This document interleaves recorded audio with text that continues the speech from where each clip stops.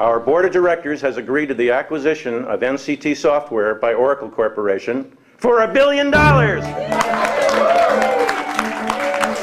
Brilliant.